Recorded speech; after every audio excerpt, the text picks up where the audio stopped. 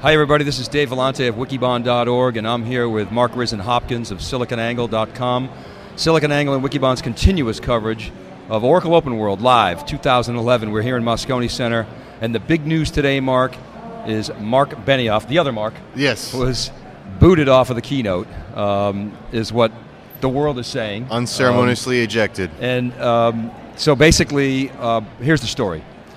Marc Benioff tweeted out last night that, quote, Larry has canceled my keynote. And Can you see that? We've, he actually printed up copies of his tweet yes, and is handing them out Larry outside. just canceled my key- keynote.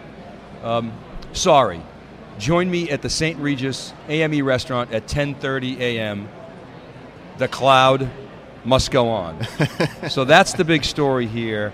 What's happening is um, we've got the inside story at, at SiliconANGLE. What's happening here is um, you all know the rift between Marc Benioff, former Oracle, former Ellison lieutenant, now head of Salesforce.com, uh, making many accusations about Oracle, saying Oracle is the false cloud.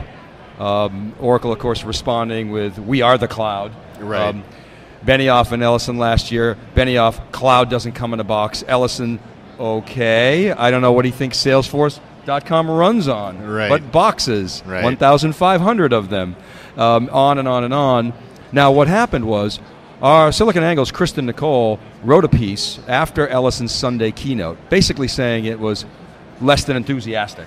Right. Can you say that, Mark? Yeah, that uh, the, the headline I think said uh, sets a tone of hilarity for Oracle Open World uh, because uh, the, the the Twitter stream that was going on around it, which you, you know, John and Ray Wang and several others were uh, were were having a where it seemed to be having a blast, uh, just kind of riffing on the 10x and the uh, exa exadump and all the other hashtags that they invented. Right, and and and Benioff subsequently tweeted Kristen's article out saying Larry has set the bar low, and then he put it on his Facebook page. Yeah, Facebook wall.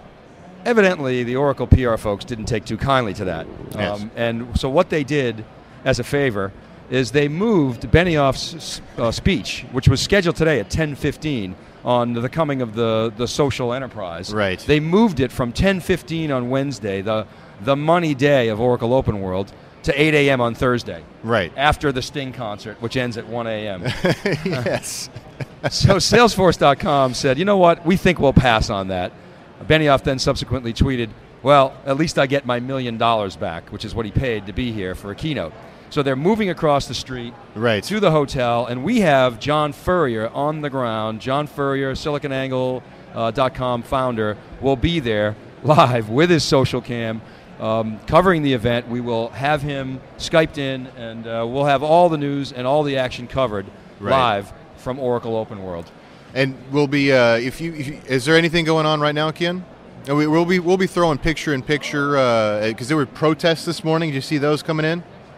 The, Yes, uh, right. The, he had his. Uh, no, no, protests. They had uh, the uh, Oracle employees out there so with you can sandwich see boards. Here, uh, Benioff at Benioff, too innovative for Oral, Oracle Open World. Pound Oracle Open World question mark.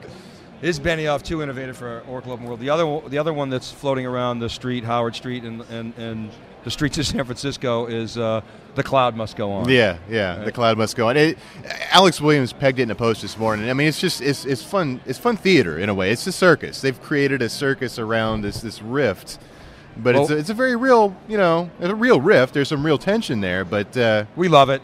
You Yeah, know, it's Benny- fodder for us. Kara Swisher uh, quoted him. It's like this is this is the best thing that could have happened to my keynote. I get my million dollars back, and all this attention being paid to my to my uh, uh, my, my message now. Right, that's right. So, in, in some respects, maybe he, he should be thanking Ellison. Thanking Ellison for canceling the, him. The, the publicity is amazing. Of course, the publicity for Oracle is amazing. It's Yeah. just, as, as Scott McNealy used to say, there's no such thing as bad press. I mean, this is just uh, great fodder. Um, now, let's go back a couple of years ago when Ellison said the cloud is water vapor. Um, that was his diss the cloud moment, and Right. Benioff since then has been hammering away at Oracle for not understanding the cloud, not being the true cloud. Uh, Salesforce.com, let's face it, you know, started the whole modern cloud movement in the Right. late 1990s, you know, with its software as a service and its CRM, and it's just um, doing a, a fantastic job. The other thing is uh, uh, uh, Dreamforce, which was a conference um, the same week that we were at VMworld, Mark, was actually here, and I believe was larger. Yes, it is. It is rivaling. It's starting to eclipse, at least in attendance, right? Which was what I heard, forty thousand. Yeah, it's forty. It's it's in the forty thousand somewhere. I mean, I've heard several numbers, but I didn't get the uh, the official final count. This one's supposed to be forty six. You know, I mean, they're neck and neck, right? Is it that? Is it that large? I didn't. I didn't so uh, that was the number that I heard bandied number? about uh, on the uh, official Oracle Twitter stream. Okay. Um, some other news, a little less interesting. So, uh, John Chambers had a keynote this morning. Mm-hmm. Uh, we'll be covering that. We've got some uh, guests from Cisco on later on. We'll be talking about that. You know, frankly, Mark, I thought the, the keynote was okay. I mean, John Chambers is always good, but Yeah. I thought his message was a little stale. You know, so what um, was he? What was he talking about mostly? yeah, basically, he was talking about market transitions. He said that na- uh, this is now the we have entered the from an infrastructure standpoint the networked economy. Okay. Um, which I think is, you know, a little bit outdated. I think we're in the services economy. so w- did know. he try to explain the network economy? What what that meant to him? Uh, net- network centricity, and obviously it's uh, favorable for, for Cisco. Mm. Yeah, I, I Um, would I would question that. He that. talked about constant change. Uh, he talked about uh, mobile innovation, which is it's good to see Yeah. Cisco talking about mobile innovation. We had Juni- Juniper on the on the show yesterday, and of course they've been very active in, in mobile. So it's good to see more networking companies hopping on that bandwagon. He talked about being number two in x86 uh, blade servers, Mm-hmm. which is there's a lot of debate about that whether or not they're really number two. I remember that. Yes. Um, IDC published some numbers. Evidently, IDC is sort of retracted kind of some of its numbers, but we're not really sure. We're still looking into that. Uh, video, he talked about being huge, and cloud and mobile, the two hottest topics out there. So certainly would uh, So- would agree with that.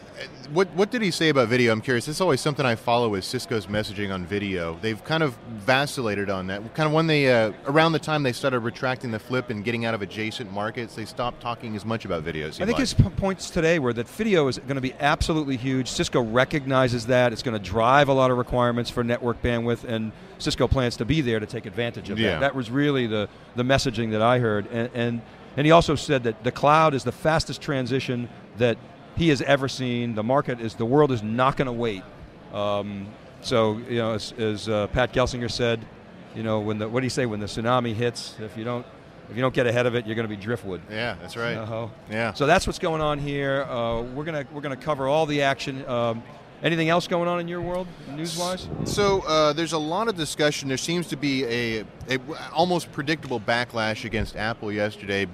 I wonder if it's this is something I actually th- thought to predict uh, when uh, Steve Jobs announced his departure. It was when Steve Jobs leaves, will the reality distortion field dissipate? And I think the answer uh, that we see from if you look at the volume of headlines that are on uh, on you know the tech aggregators that are somewhat negative about Apple in the wake of the announcements yesterday, I think the answer might be yes, because if Steve Jobs is up there, you know all the fanboys would be you know out there defending things in the press. Uh, there's a lot of blame being shifted to Tim Cook for things that really you know this is a, it was not a it was just a run of the mill product announcement. Was uh, some really cool things in there like Siri. I'm I'm still excited about that even though when Apple bought them, the company kind of broke my heart. Uh, there's all all hope for. Yeah, that looks good. I mean, you were saying it's a little bit more innovative than what we have in Yeah, yeah. Android, so that's I'm I'm encouraged for that. yeah, it's true AI. I mean, I've, I've been in briefings with these things. It's it's by the uh, by the definition of uh, of like you know uh, Tur- the Alan Turing definition of AI. It is true AI. Um, and Apple's re- rebounded. Remember, yesterday the stock was off. One of the few tech stocks that was off yesterday. Apple's back up today. Mm-hmm. The market's up uh, generally right now. Um, okay, Mark. Well, thanks for coming in. Yes. Uh, we've got uh, Satish Lakshmanan from QLogic coming in. Yes. Uh, we're going to get Satish in before the Benioff uh, sales conference. We're going to bring in John Furrier from live from that conference. So why don't we um, uh, switch gears here and bring in Satish? Okay. Okay. Thank you very much, Mark Rizzn Hopkins, No uh, editor in chief of SiliconAngle.com. Uh, he'll be back throughout the day with, with all the news.